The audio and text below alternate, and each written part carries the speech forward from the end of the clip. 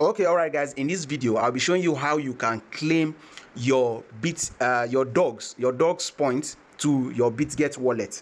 It's very easy but you have to follow uh, the step on uh, on this video step by step. You have to follow the step watch it carefully before you attempt it.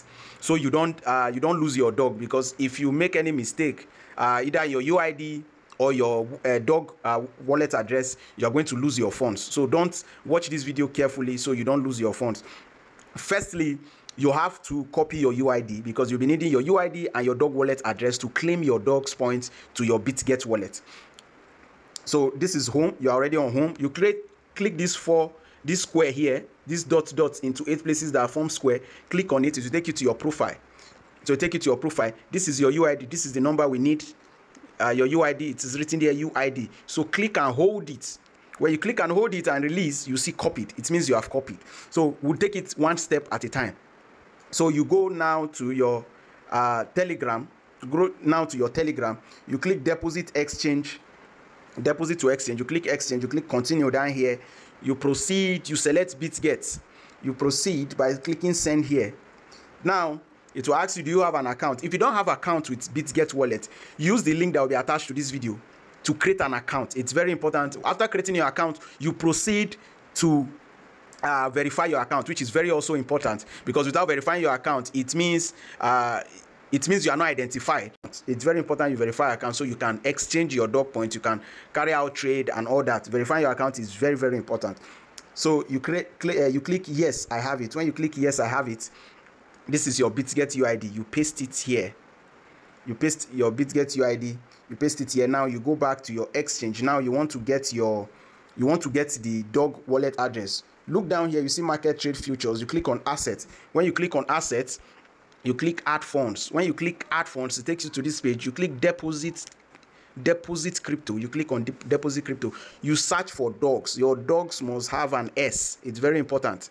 Your dog must have an s so it can it can if you click if you just put dog you see it gives you options. You can scroll down your option. You see this dog has s.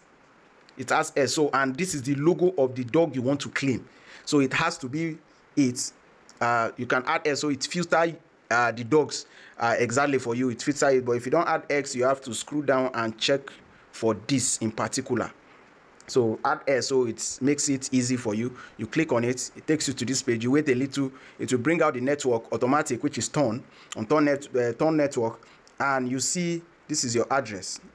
This is your dog deposit address which you are required to put on uh, the on your dog uh, point on telegram. You click this place this box that is joined together beside the address so you can copy it. Now you go to your telegram and and, and paste it. So when you paste it you click send. Now it will tell you to confirm.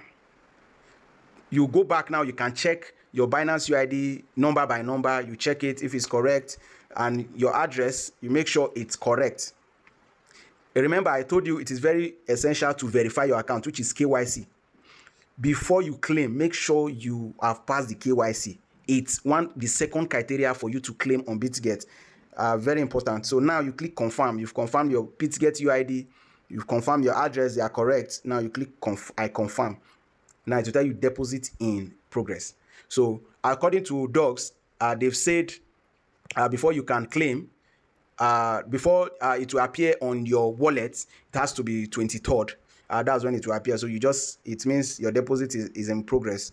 When you are done when they are done with everything it's going to though they are still showing now be ready for listing on august 20th they've not updated it. Actually they will be listing on august 23rd which the news came out yesterday from their official page. So follow the step. It's easy and you get it. See you on my next video